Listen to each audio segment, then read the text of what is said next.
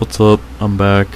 Uh, I'm kind of busy, so I haven't been able to make a video for some time, but whatever. Um,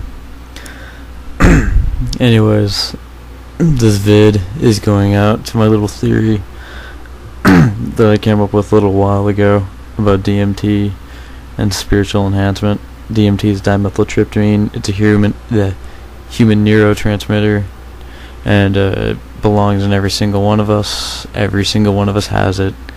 Plants, I mean not plants, but every human has it. It's created in the pineal gland. It's basically what makes us dream at night, and that's basically what we see in near-death experiences. Our brain pumps out heavy doses of dimethyltryptamine or in very deep sleep. Uh, and anyway, my little theory is that when we do meditations on our third eye and the crown chakra. Um, I have a theory that that also when we meditate on um, the pineal gland and our crown chakra and third eye, it increases the activity and size of our pineal gland, which releases more DMT and when you when you take DMT normally, like when you're just taking it, you have to smoke it.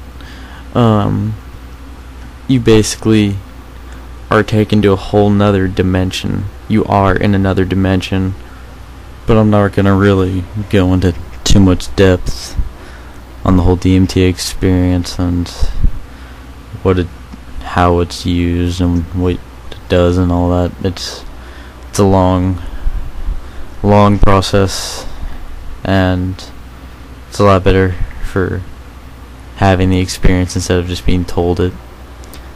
It it basically just changes your life all for the better. But anyway if you want to look it up yourself look it up on YouTube look up some Joe Rogan videos. He has a few interesting videos on DMT and his past experiences with it. But anyway um excuse me. Um, yeah, but anyway, just in my personal opinion, this would be quite an eye-opening experience. I tend to do a little overboard on my meditations with my third eye, my pineal gland, and my crown chakra, just to try and get a little closer to that experience and just empower myself a little bit more and just have that eye-opening experience and just see what everything's really all about.